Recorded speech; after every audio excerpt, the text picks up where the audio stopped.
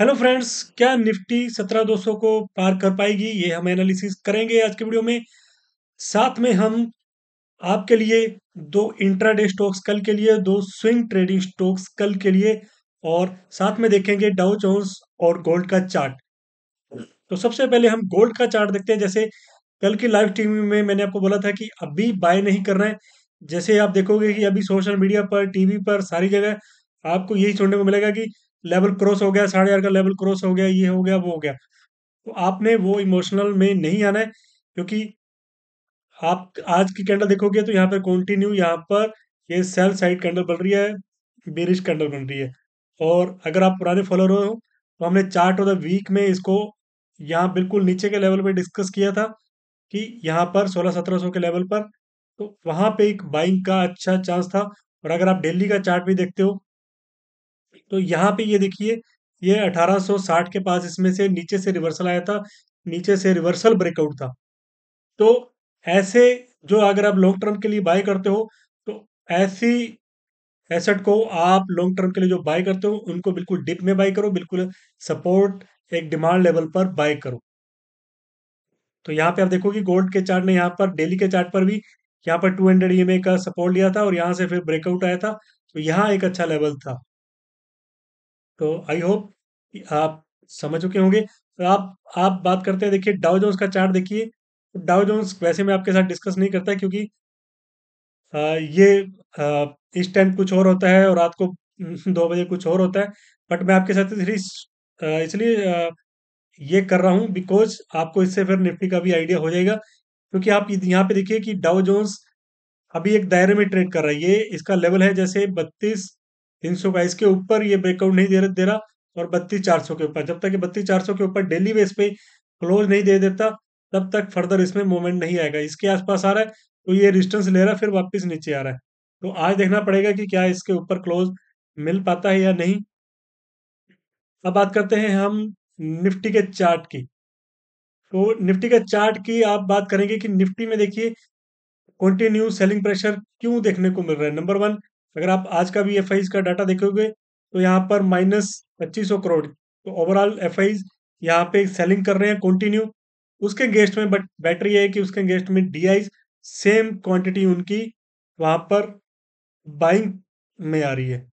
तो जितना almost F I cell कर रहे हैं, उतना ही ऑलमोस्ट नेट में डी बाइंग कर रहे हैं। और एक आपके लिए लर्निंग छोटी सी आप देखोगे कि ये जैसे टेन मिनट की कैंडल आप देखोगे कि यहाँ पर ये अभी काफ़ी डेज़ से निफ्टी जब भी ओपन हो रहा है, चाहे गैप अप ओपन हो रहा है गैप डाउन ओपन हो रहा है, जो टेन मिनट का हाई बन रहा है वो वहाँ उस हाई को क्रॉस नहीं करा, उसके ऊपर क्रॉस नहीं कर रहा, उसके ऊपर क्लोज नहीं दे रहा। तो जब क्रॉस ही नहीं कर रहा तो उसके ऊपर क्लोज कैसे देगा? नीचे से रिवर्सल ज़रूर आ रहा है बट डे हाई जो स्टार्टिंग में हाई प्राइस बन रहा है, उस हाई को क्रॉस नहीं कर पा रहा। आप देखोगे यहाँ पर ये जैसे आज की बात करें, ये उससे पिछला ट्रेडिंग ट्रेडिंग सेशन, ये पंद्रह मार्च का ट्रेडिंग सेशन, और उससे पीछे आप भी यहाँ पे देखोगे थर्टीन मार्च का और फिर नाइन मार्च का। तो ये अभी काफ़ी दिनों से सेलिंग प्रेशर देखने को मिल रहा है बट नीचे से रिवर्सल क्यों आ रहा है? बिकॉज़ एक तो वैसे ओवरऑल अभी जो ट्रेंड है वो डाउन ट्रेंड ही है बट नीचे से रिवर्सल इसलिए आ जाता है क्योंकि इंटरडे में वहाँ पर ओवरसोल्ड पोजीशन हो जाती है। जैसे हम बात करें पीसीआर की तो पीसीआर काफ़ी अच्छी इंडिकेट करता है कि मार्केट पे अभी ओवरसोल्ड पोजीशन है या फिर ओवरबाउट है। तो जैसे आज इंट्राडे में ये 0.50 के आसपास टच कर गया था तो इसलिए हम देखते हैं यहाँ पे चार्ट पर, हमें यहाँ पे रिवर्सल भी मिला। और रिवर्सल भी आप देखोगे कहाँ पे मिला? आज जिसने बिल्कुल ब्रेक डाउन पे सेल किया होगा मीन्स इसने सोलह आठ सौ पचास का लेवल यहाँ पे ब्रेक किया, उसके नीचे एक कैंडल भी दी।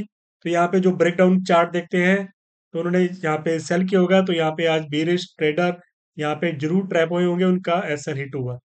बट अगर आप रिवर्सल कैचिंग करते हो तो रिवर्सल कैचिंग काफ़ी बेटर रहती है और उसमें रिस्क बोर्ड भी बेटर रहता है और प्रॉफिट ज़्यादा रहता है।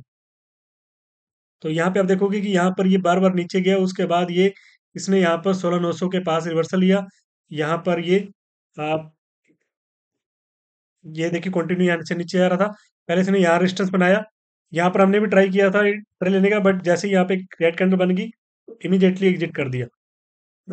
उसके बाद आप देखिए यहाँ पर, इसके ऊपर टिक गया, ये क्योंकि यहाँ पे प्राइस एक्शन बन रहा था, यहाँ पे रेजिस्टेंस फेस हो रहा, इसके ऊपर कैंडल बनी और ये कंटिन्यू चलता गया। और वही बात करेंगे अगर आप बैंक निफ्टी की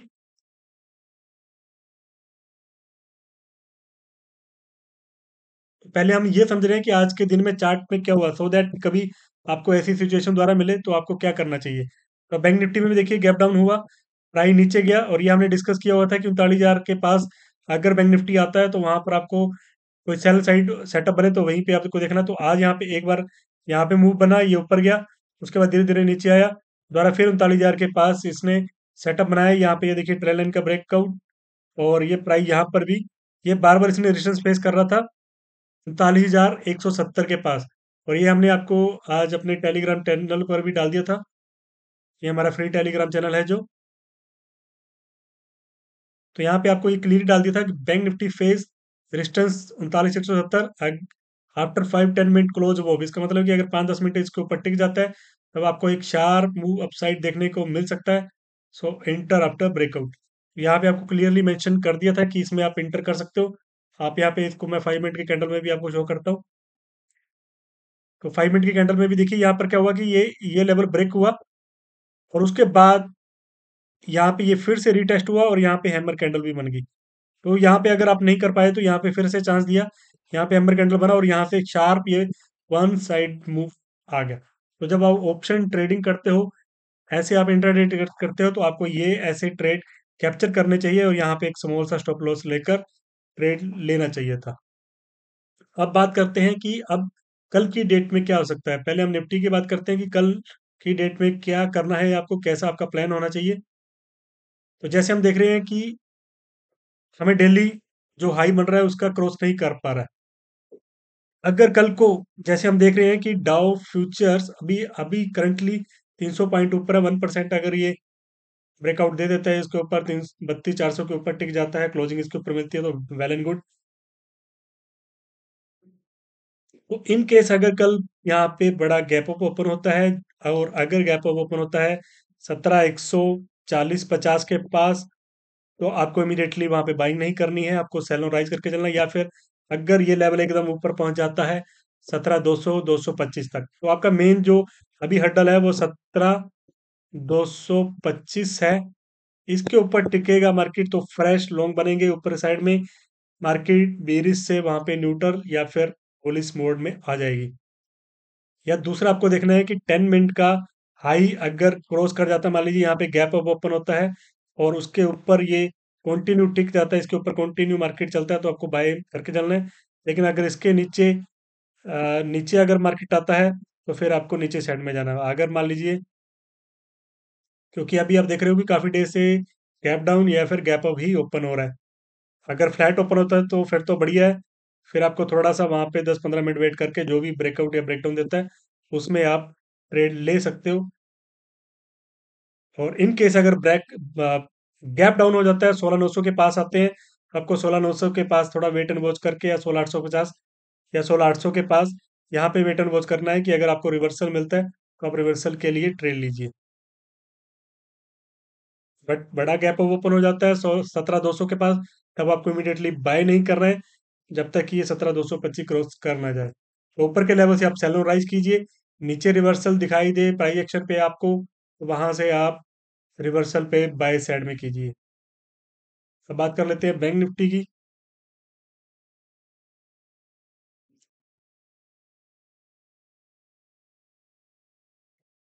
तो बैंक निफ्टी में भी अगर डिस्टेंस बात करें, अगर आपको ओपन मिलता है यहाँ पे उनतालीस, आठ सौ, चालीस हज़ार के पास तो ये लेवल आपका सेल साइड के लिए है। यहाँ पे आप सेलोन राइज करिए, अगर कंटिन्यू यहाँ पर टेन मिनट का अगर लो ब्रेक करता है तो सेलोन राइज करके चलिए।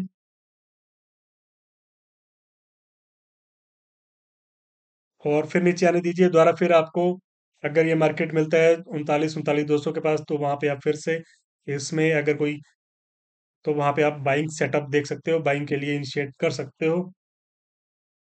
और इसमें हम ये बेरिस मोड से या फिर ट्रेंड ये साइडवेज से कब चेंज होगा? जब हम चालीस हज़ार के ऊपर टिक जाएँगे, चालीस एक सौ के ऊपर जब तक हम टिक जाएँगे, उसके ऊपर फ्रेश फेयर लॉन्ग बन सकते हैं। और फिर एक बड़ा मूव तेज़ी की तरफ़ ऊपर साइड में आ सकता है। फिर देन टारगेट रहेंगे चालीस चार सौ के और चालीस आठ सौ तक के टारगेट के। तो ये तो था निफ्टी बैंक निफ्टी का एनालिसिस कल के लिए बात करते हैं। आपको स्विंग ट्रेडिंग स्टॉक्स कौन से देखने हैं? तो पहले हम स्विंग ट्रेडिंग स्टॉक डिस्कस कर लेते हैं, फिर इंट्राडे स्टॉक्स डिस्कस करेंगे। तो फ़र्स्ट आप स्विंग ट्रेडिंग स्टॉक देख सकते हो। वैभव ग्लोबल तो ये वैभव ग्लोबल आप फ़र्स्ट स्विंग ट्रेडिंग स्टॉक देख सकते हो, क्योंकि इसमें देखिए ये फिर से सपोर्ट लेवल पर आ चुका है और इसमें यहाँ पर हैमर कैंडल भी बनी है। तो इसमें स्टॉप लॉस है 285 का। ये आपका एस एल हो गया यहाँ पर और टारगेट रहेगा आपका करीब करीब 320 330 तक का। तो आप ये इस वीक के लिए आप इसको होल्ड करके स्टॉप लॉस के साथ चल सकते हो। और दूसरा स्टॉक से मैं जो है, दूसरा स्टॉक है guys Apollo tyre Apollo tyre में देखिए कि ये मैंने आपके पहले भी डिस्कस किया था। इसमें ये ट्रेंड लाइन बन रही थी ट्रेंड लाइन के ऊपर ये ब्रेकआउट आ चुका है। बट अगर आप इसमें देखिए इंट्राडे प्ले भी कर सकते हो। इंट्राडे कैसे प्ले करना है? अगर ये 314 के ऊपर टिकता है इसके ऊपर क्रॉस करे तो तब आप इसको बाई कीजिए और वहाँ पे आप स्टॉप लॉस रख सकते हो। करीब करीब अगर ये 311 10 के नीचे आ, निकलता है 10 मिनट की क्लोज देता है तो आपको एग्जिट होना है इंट्राडे के लिए। बट स्विंग ट्रेडिंग के लिए यहाँ पे स्टॉप लॉस काफ़ी डीप है तो इसको आप थोड़ा सा यहाँ पर भी बाई कर सकते हो या अगर आप नीचे मिले 307 8 के आसपास तो वहाँ पर भी इसमें ऐड कर सकते हो। लेकिन अगर ये पहले थ्री वन फोर क्रॉस कर जाता है, तब आप फिर यहाँ पे एक स्मॉल सा स्टॉप लॉस लेकर इसको 320 30 तक के लिए टारगेट के लिए प्लान कर सकते हो। तो नेक्स्ट स्टॉक है जो इंटरडे के लिए है। क्योंकि अगर बैंकिंग में तेज, तेज़ी आई बैंक निफ्टी में तो आईसीसी बैंक में तेज़ी आ सकती है, क्योंकि इसका चार्ट काफ़ी अभी बिल्कुल क्लीन चार्ट बना हुआ है। इसमें आपको दो तरीके से आप इसमें एंट्री कर सकते हो।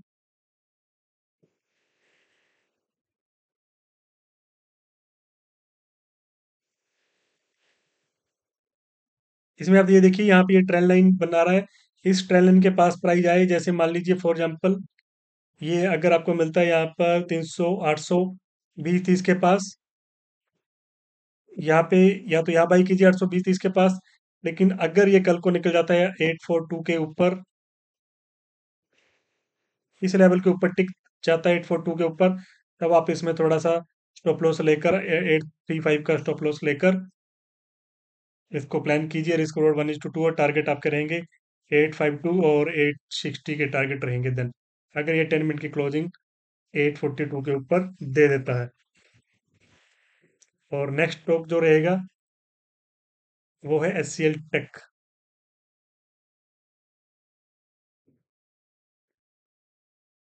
ये आपके साथ मैं इसलिए डिस्कस कर रहा हूँ, ये आप देखिए कि इसमें अगर हम 75 मिनट का टाइम फ्रेम देखिए, पहले आप इसमें। इसमें आपको देखिए बाय सेल दोनों साइड में आपको सेटअप मिल सकता है। क्योंकि लास्ट के 75 मिनट में इसमें अच्छी बाइंग आई है और ये जहाँ से इसको ब्रेकआउट दिया था, ये गैप अप प्राइस फिर से यहाँ पे देखिए, वहीं पे आ गया था। आज के डेट में वहीं से आया फिर से।